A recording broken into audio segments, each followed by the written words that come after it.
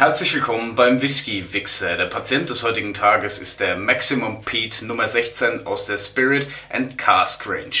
Spirit and Cask ist vielleicht dem einen oder anderen Genießer ein Begriff, vielen aber wahrscheinlich nicht. Spirit and Cask ist eine Marke des deutschen Whisky-Importeurs Whisky Max. Ähm, ansässig in einem Kaff 15 Kilometer entfernt von Aschaffenburg. Wo drehe ich meine Videos? Richtig, in Aschaffenburg. Also Whisky Max ist bei mir um die Ecke. Haben jede Menge Abfüllungen schottischer Brennereien am Start und unter anderem auch speziellere Abfüllungen, unter anderem eben diesen Maximum Pete. Diese ganzen Spirit and Cask Abfüllungen sind ausschließlich in Deutschland erhältlich. Ja? Hier handelt es sich um einen Single Malt Whisky aus einer Eiler Brennerei. Welches ist, wird leider nicht verraten. Ähm, zwei Hogsheads wurden hier zur Abfüllung gebracht, nämlich die Fässernummer 306820 und 306822. Destilliert am 21. März 2011 und bottelt 2015. Da schreiben sie kein Datum hin. Ne? Er kann jetzt drei Jahre alt sein, er kann aber auch vier Jahre alt sein. Und wenn er wirklich drei Jahre alt sein sollte, dann hat er gerade mal die gesetzliche Mindestreifezeit. Dann würde er drunter liegen, dürfte er sich gar nicht Whisky nennen. Ne? Anzahl der Flaschen 881, Alkoholgehalt 59,4 Volumenprozente. Das ist natürlich eine Ansage. Ne? Schon die Nummer 16 hier scheint relativ erfolgreich zu sein. Na, schauen wir mal, was ist ja quasi ein regionales Produkt. Ne? Ja, was erwarte ich mir von dem Whisky? Also, wenn er drei, vier Jahre alt ist, ähm, wird er heftig sein. Ja? Nicht nur, weil er 59,4 Volumenprozente hat, nein, dadurch, dass er so jung ist, hat er ein Stück weit auch noch scharfe Bestandteile durch den Brandintus.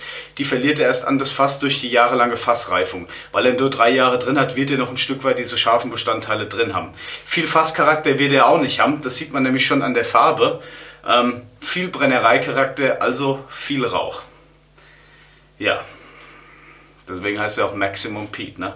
Also von der Farbe her äh, der ist eigentlich no coloring, also keine Farbe. Da ist so eine minimale Farbnuance drin. Aber hier durch die Kamera, ich sehe es ja im Fenster, ähm, ist ja eigentlich klar.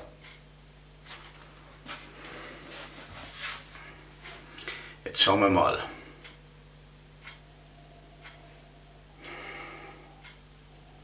Krasser Rauch.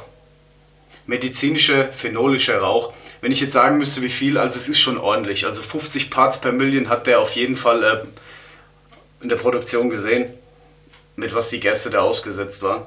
Wird ja die Gerste auf den Malzböden wird er ausgebreitet, unten drunter wird Torf angezündet und der Rauch zieht dann hoch. Ne? Und dann wird der Phenolgehalt in der Luft gemessen und danach wird bestimmt, wie stark rauchig er ist. In dem Fall 50 ppm dürften es auf jeden Fall gewesen sein und 50 ppm sind viel.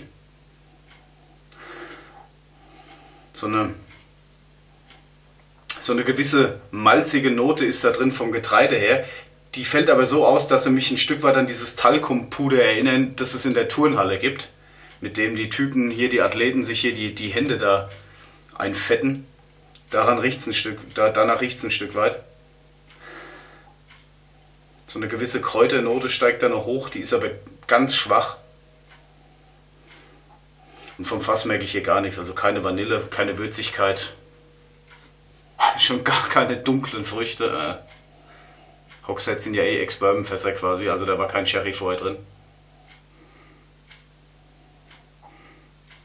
So ein, so minimal floral, also ganz zarte, blumige Töne, aber alles Brennereicharakter. Ne? Der starke Rauch, diese leichten Kräuter, das, was mich, also diese Malzigkeit, die mich an das Talkumpuder erinnert, Brennereicharakter und diese Blumigkeit, Brennereicharakter.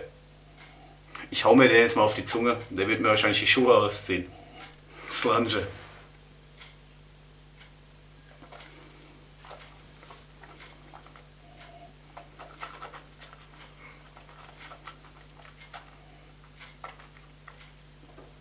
Den Alkohol habe ich im Mund schon gemerkt, da prickelt alles.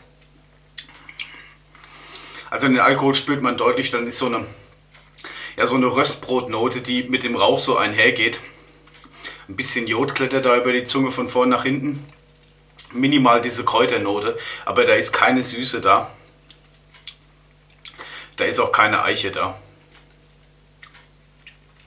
Und der Abgang lang, aber durch den Alkohol geschuldet. Was ich hier im Abgang so langsam, was da verblasst ist, das, was ich sofort geschmeckt habe. Ne? Ja. Also, mit der Erwartung, mit der ich da rangegangen bin, ähm, ja, das hat er mir auch im Geschmack und in der Nase geboten. Ich habe den jetzt mit ein bisschen Wasser verdünnt. Das öffnet vielleicht den Alkohol und ein paar andere Aromen können da noch sich ihren Weg bahnen. Jetzt durch das Wasser wird er trüb.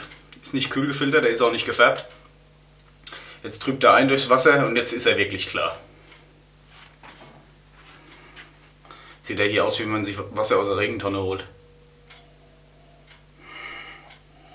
Jetzt riecht er ein Stück weit nach Kunststoff, so nach PVC-Boden. Habe ich oft bei jungen rauchigen Whiskys, dass sie dann so umschlagen in so eine Kunststoff-Plastiknote. Danach riecht er jetzt. Und mit dem Wasser, muss ich sagen, verliert er in der Nase. Jetzt riecht er so ein bisschen, so wie man in eine Gärtnerei reingeht.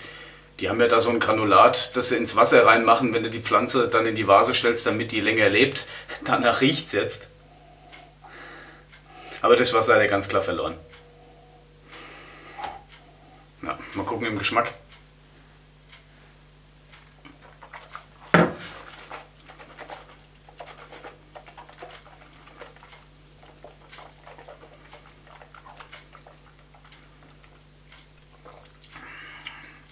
Ich habe mir ziemlich ange angenehm bekommen, hinbekommen mit dem Wasser ja, alles, was ich vorher geschmeckt habe, jetzt in viel, viel, viel, viel abgeschwächter Form. Also das ist ein Whisky, der definitiv von seinem sehr, sehr hohen Alkoholgehalt lebt. Wasser tötet den.